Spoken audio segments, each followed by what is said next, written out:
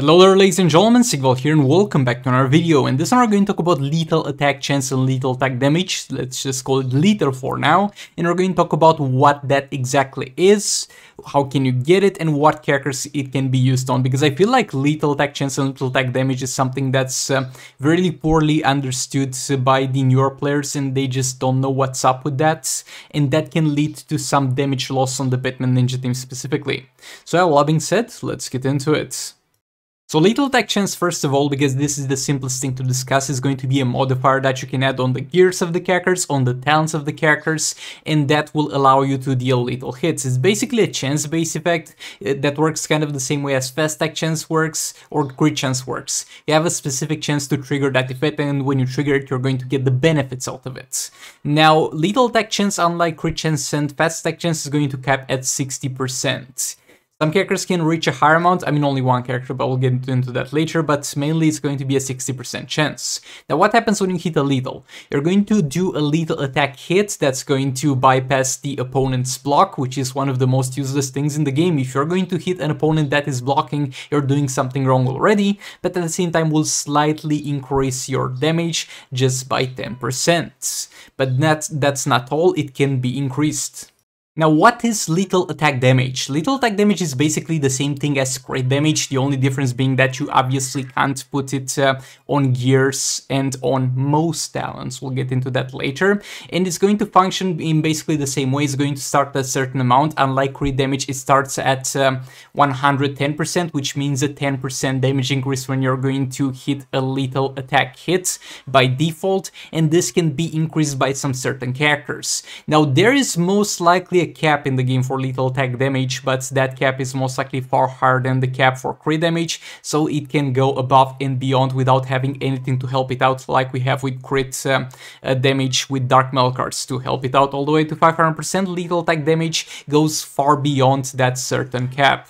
There are going to be a few characters in the game that can uh, not necessarily have access themselves, though it applies to themselves as well, but mainly used to buff our characters' lethal attack damage. One of them is going to be Batman Ninja Robin, and he has a passive that every single time your Batman Ninja characters are going to hit a lethal hit, uh, it's going to stack lethal attack damage for that character specifically. Those buff, uh, buffs have a certain duration, and they're going to expire, but at the same time stack upon each other, to the point if you're hitting constantly, you can reach the maximum amount of lethal attack damage you can possibly have on, for example, Batman Ninja Catwoman, because that's what we mostly use. So for the Batman Ninja team, for this purpose, lethal attack damage is just something that it's there, you don't really have to worry about too much. Just keep in mind that you should put lethal attack chance on Batman Ninja Catwoman, because her third special does not add a flat amount of lethal attack chance, but increases the lethal attack chance that you already have by a percentage.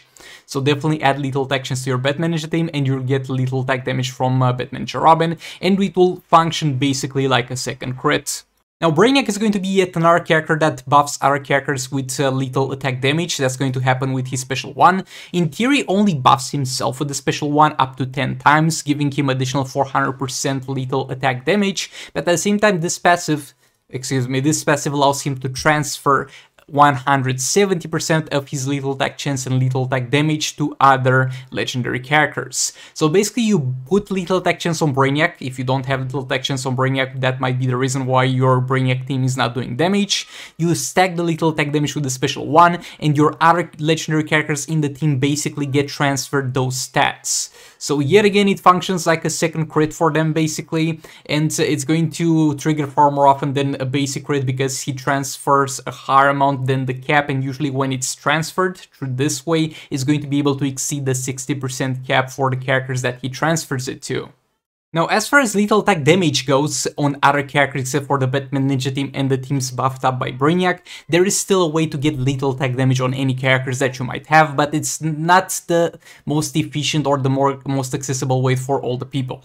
So the first thing that we got ever introduced into the game in terms of adding lethal attack damage to any character was through artifact bonuses. Now artifact bonuses have been introduced a very very long time ago though I still get the feeling and this reflects on myself as well. They are a very very small part of the game because the artifact reforges are locked only into a chest uh, of course, unless you, you want to buy them from these special offers, are locked into a chest that's for the most part the last thing you want to buy. It's something that you it might be necessary at some point, but you want to focus on other things. So most of the player base will not have access to those resources, but you can get lethal attack damage on artifacts, and that is one way to get it. Another way to get lethal attack damage, and I know this is not lethal attack damage, I've literally never gotten it, but I've seen people getting it. it, is going to show up as a legendary uh, talent once you get the character to 7 stars. It's not gonna show up uh, on the lower rarities, it's not gonna show up as uh, rare, epic, uh, it's going to only show up as legendary talent and is going to be additional 40% lethal attack damage. So that is yet another way you can get yourself some lethal attack damage. Now let's talk about adding lethal attack chance and lethal attack damage to your characters, if it is worth it and what characters you should do it on. Just wanna mention again, make sure you add lethal attack chance to your Batman Ninja team and to your Brainiac team, even though they get... Uh, it's very misleading because this is plus percentage. When it says plus percentage, not flat percentage, it increases the chance that you already have. So you need to have lethal attack uh, chance here in order to be able to have any lethal attack chance on uh, Batman and Catwoman. And same goes for Brainiac. Add lethal attack chance to Brainiac because he'll not give those flat amounts to the legendary characters in your team, but will give a percentage of his own stats. So make sure those two always have lethal attack chance. And I wouldn't worry too much about lethal attack damage uh, on them for now. Like the Batman team seems to be doing fine with the base lethal attack uh, damage that they have, but I guess won't be too bad to get uh, a legendary lethal attack damage on Catwoman.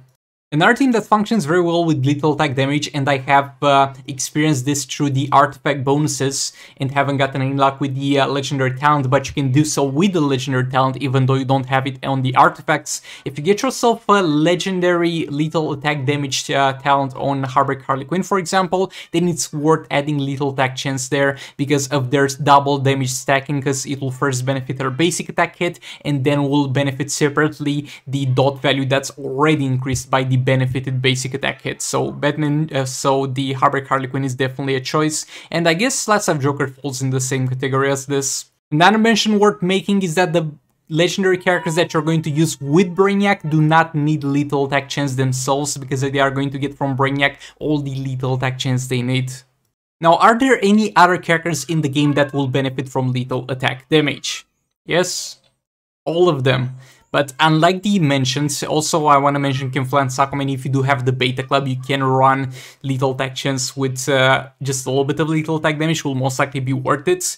So in theory, you would ideally have lethal attack chance and lethal attack damage on every single character in the game, because if you can get the lethal attack damage on artifacts, then it's definitely a stat worth having over the additional attack that you're missing out by putting lethal attack chance in there. But the problem with that is, that's a very unsustainable thing to do, because as I previously mentioned, the artifact reforges are such a rare, tedious, and expensive resource to get, and in order to be able to run lethal builds on every single damage tier that you're using, you'd have to, for each solo raid, have an artifact that's going to be used for damage dealing in that place specifically, equipped with lethal attack damage rolls. So in theory, lethal attack chance and lethal attack damage are something that would in theory benefit everybody, but so far it is kind of gated to some specific characters. So on the Batman team and Brainiac, just make sure you have lethal attack chance and don't worry about the lethal attack damages by default, and maybe try adding some lethal attack damage through the legendary talent for the uh, Heartbreaker Harley Quinn and Last Laugh Joker. But y'all all being said, thanks so much for watching and I'll see you all in the next one. Goodbye! This is the future.